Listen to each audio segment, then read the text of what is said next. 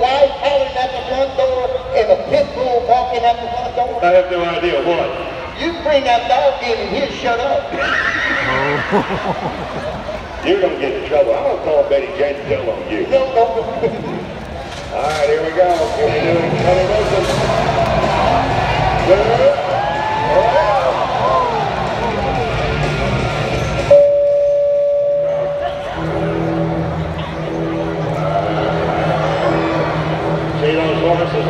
they're smart. They see the movie. Yeah, what? That dog reminds me of my wife. How's that, Rudy? She chases every man she sees.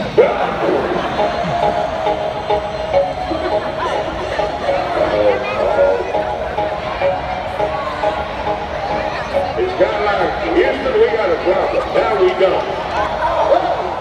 Horses will anticipate these. Steers got to be straight in the chute more than not, okay? They got to be straight in the chute. Outside,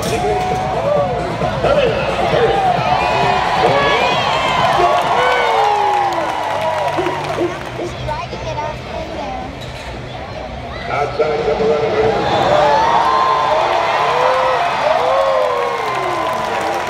State University years. Second generation champion.